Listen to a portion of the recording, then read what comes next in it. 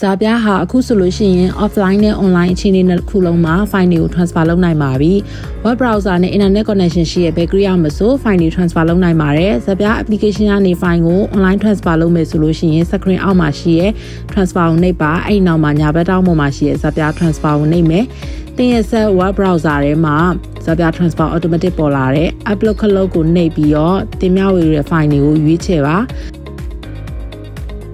ဖိုင်များကိုရွေးချယ်ပြီးရနဲ့စတင်ရန် stop ကိုနှိပ်ပါမယ်။ဖိုင်တွေဟာကျွန်တော်တို့ရဲ့ cloud ထဲမှာ9ရက်တာကြာရှိမှဖြစ်ပြီးတော့ upload ပြီးဆုံးလို့ရှိရင်ကဏ္ဍ6လုံးပါတဲ့ကုန်းနဲ့ link ကြလာပါတယ်။အဲ့ဒီကုန်းနဲ့ link ကိုလက်ခံရရှိတဲ့သူဟာတင်ထားတဲ့ file တွေကိုအကုန်ကူးနိုင်မှာဖြစ်ပါတယ်။ဇပြား application ကို device ပေါ်မှာ download ပြုလုပ်ရမလိုပါဘူး။လိုအပ်တာကတော့ဇပြား transfer website ပဲဖြစ်ပါတယ်။ Resi ခလုတ်ကိုနှိပ်ပြီးတော့ကနန်း6လုံးကုတ်ထည့်ပြီးတော့ file တွေကိုကြည့်ရှုရန် confirm နှိပ်ပါ download icon နှိပ်တဲ့အခါမှာ file တွေကအလိုအလျောက် download လုပ်ပြီးသားဖြစ်ပါလိမ့်မယ်